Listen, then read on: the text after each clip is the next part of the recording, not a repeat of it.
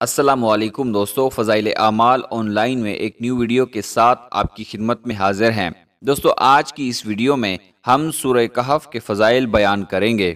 सूर्य कहफ की तिलावत से बैतुल्ला शरीफ तक नूर ही नूर होगा। रसूलुल्लाह सल्लल्लाहु अलैहि वसल्लम ने इरशाद फरमाया, जो शख्स जुम्मा के दिन सूर्य कहफ की तिलावत करे तो जिस जगह वो तिलावत करता है, वहाँ से लेकर मक्का मुकरमा तक तमाम फासला नूर से मुनवर हो जाता है। सूर्य कहफ की तिलावत से एक जुम्मा से दूसरे जुम्मा तक नूर। नबी करीम वसल्लम ने एक और जगह इरशाद फरमाया है। जो शख्स जुम्मा के दिन सूर्य कहफ पढ़ता है तो उसके लिए दूसरे जुम्मा तक नूर जगमगाता रहता है। सूर्य कहफ दजाल की हिफाजत का ज़रिया है।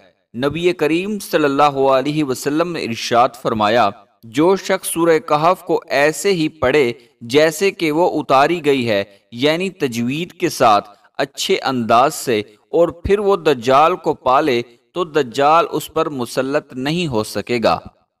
सूर्य कहफ की इब्तदाई दस आयात याद करने की फजीलत यह है कि नबी करीम सल्लल्लाहु ने इरशाद फरमाया, जो शख्स सूर्य कहफ की इब्तदाई दस आयात याद करेगा वो दज्जाल के फितना से बचा लिया जाएगा।